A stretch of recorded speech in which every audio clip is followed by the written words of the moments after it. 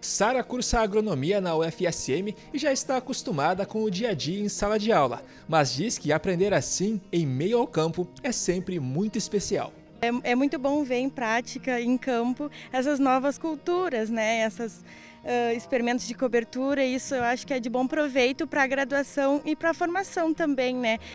A estudante é uma das 150 alunas que estiveram no fim de tarde na Várzea, projeto da UFSM que ensina através da proximidade dos alunos com o campo, um estímulo prático para que essa gurizada identifique problemas e busquem respostas em sala de aula. Estar presente hoje na tarde na Várzea é, traz muito conhecimento para nós, principalmente na questão prática, né? Ter contato com as empresas, ter contato é, com o pessoal, tem bastante produtor aqui também, a gente aproveita e já faz um networking, já conversa, né? E alunos de outros semestres também. Divididos em três grupos, os alunos circularam pela área didático-experimental de Várzea, um espaço para estudo de algumas culturas dentro da UFSM.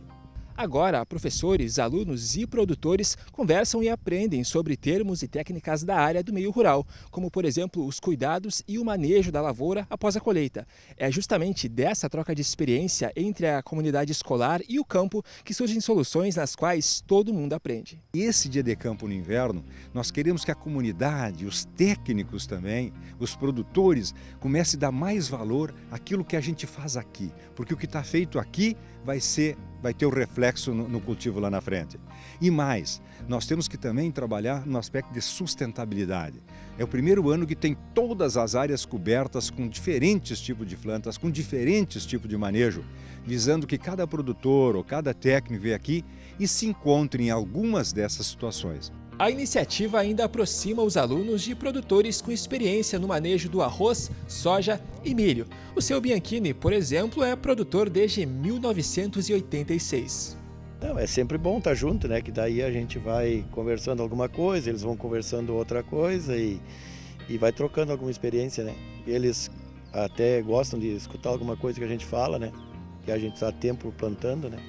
E aí hoje eu vim aqui para ver aí o que que está sendo apresentado, né, para fazer uma implantação lá para melhorar o sistema, né.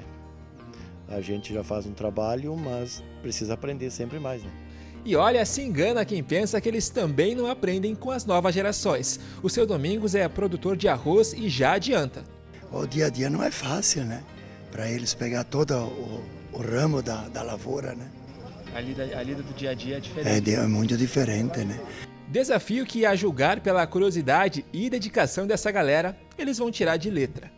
Com o conhecimento do professor e dessas empresas que, tem, que ele traz aqui para a Várzea, a gente consegue é, abranger esse conhecimento. Então é muito bom estar presenciando esse, esse momento aqui na Várzea.